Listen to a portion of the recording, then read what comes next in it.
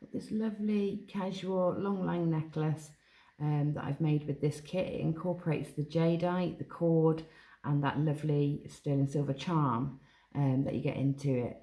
So jadeite always makes lovely calm jewellery and this with the softness of the thread I think really emphasises that.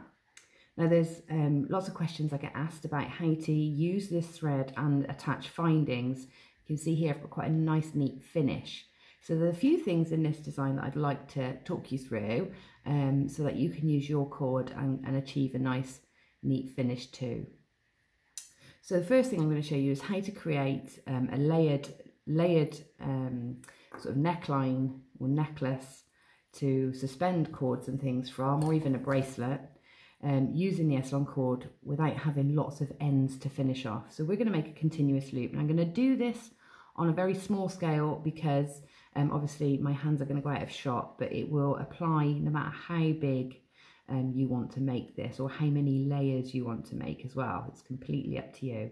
So what I would do is I would take off my um, necklace length times, so the whole necklace length, and then run that length um, as many times as you want for as many layers. So if I wanted a 20 inch necklace, then um, for four layers, I would take off 80 inches. Are you with me? And, you know, double it up for as many layers as you like. So I'm going to take off what, what I'm just going to, you know, do a, a make-believe number here. So I'm going to imagine I'm going to make a five, six, a six strand necklace. Okay. So what I do is I cut my thread down. you can use your snips or some scissors for this.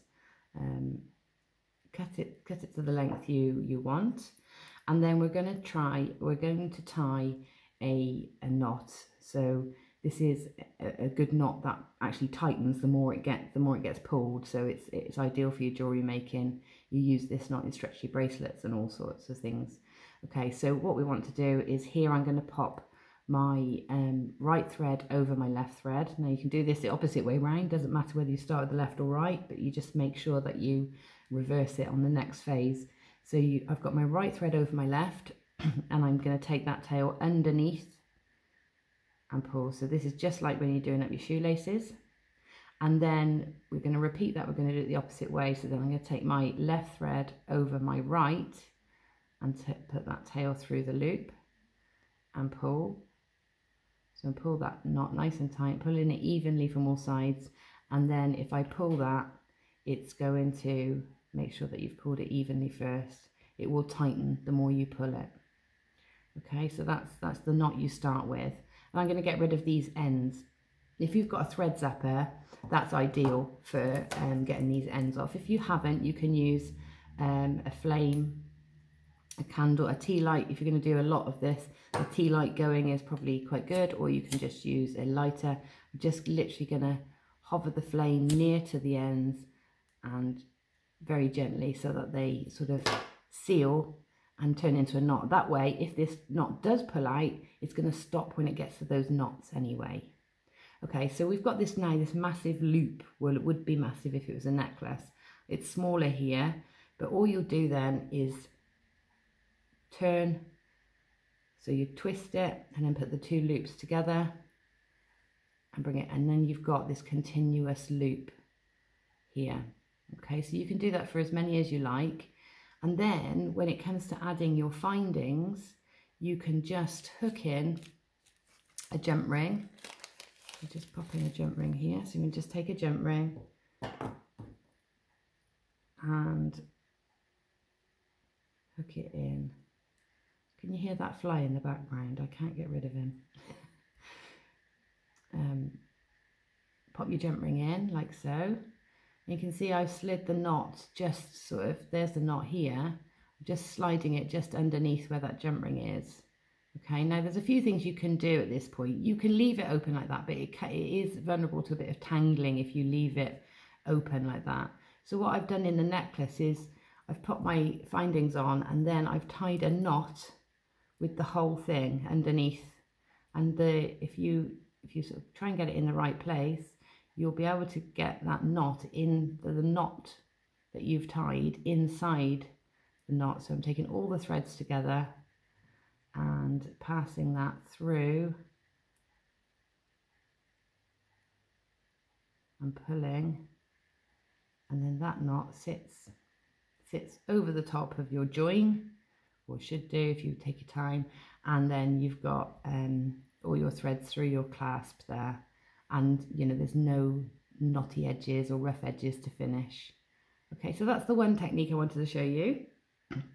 The next one in the necklace is I've managed to set a um, one of the jadeite inside that charm there. So I'm just going to show you quickly how to do that. So for this we need a length of our thread again, just a, just a short length, not too long. And I'm going to get a jadeite ready.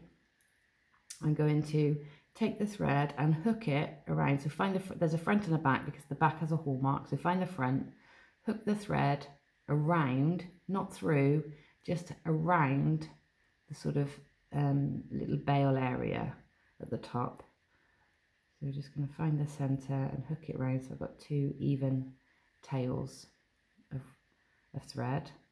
Then I'm going to, whilst keeping that tension around the bail area, just draw these to the same length, keeping the tension around the bail area, I'm then going to post the threads through that star shape in the charm.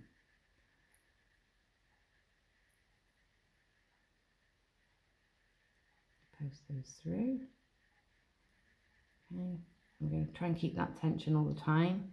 And then I'm going to thread on one of my jadeites.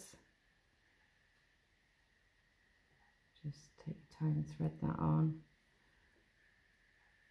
And allow it to sit. it's come off. Let's do that again. So let's try it this way this time. So I'll thread the jadeite on.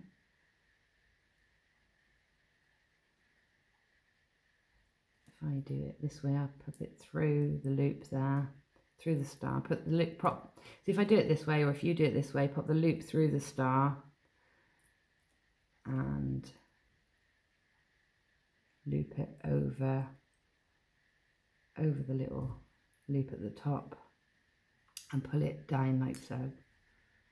Okay, then we want to take the threads back through. So the, the hole in the center of the star is not big enough to let the gem pass through. So what we're going to do is we're going to pop the thread back through so that these threads are at the back. Again, we're trying to keep that nice and tight so it doesn't fall out, off. So that's set now into the center. So we now need to finish these threads.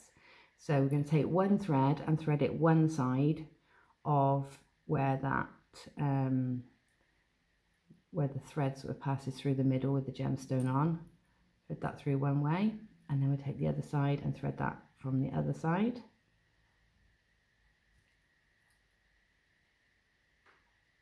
Making sure that it sits into that point of the star to make it nice and neat.